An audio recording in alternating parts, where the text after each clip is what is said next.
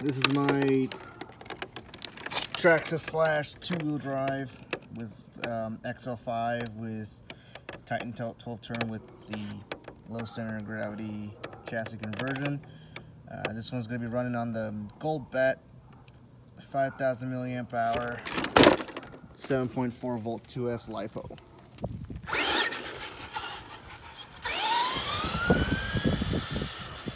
Now, just uh, I was actually driving this thing uh, before I did this video. Before I'm doing this video, actually.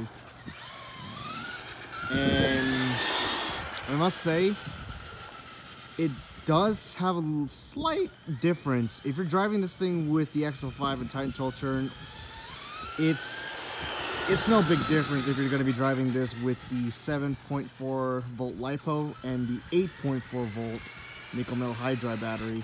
Sounds like a big difference between 1 volt, but um, nickel metal hydrides will drop in voltage compared to LiPos.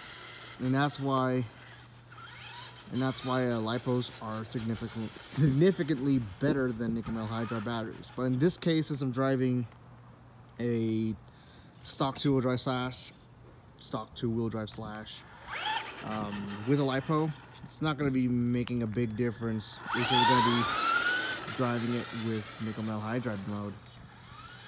Now, as far as runtime goes, yes, uh, this one has a higher milliamp hour rating, so this thing will have longer run times compared to the nickel metal hydrides 3000 milliamp.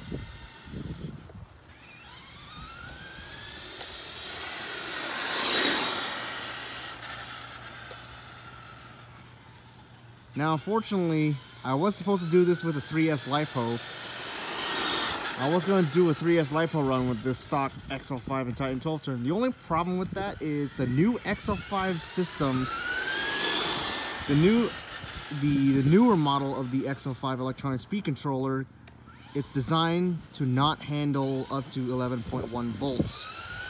It's higher rating, it's higher rating for batteries, uh, how, do I say this?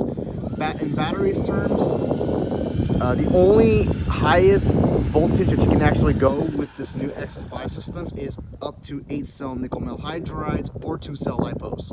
So basically the higher voltage of this car, or the ESC actually, can only handle up to 9.6 volts, not up to 11.1 volts. Correct me if I'm wrong, but I do know for a fact that you cannot go over uh, 2S LiPo.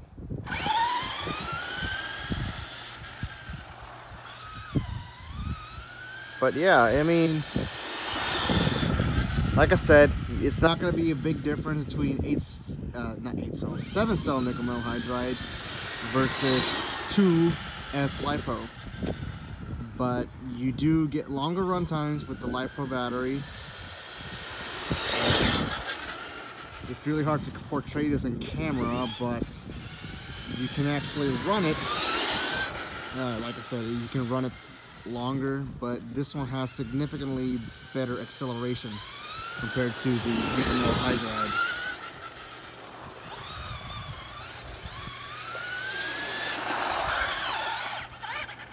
So there you guys have it. That's the Traxxas slash two-wheel drive with 2S LiPo.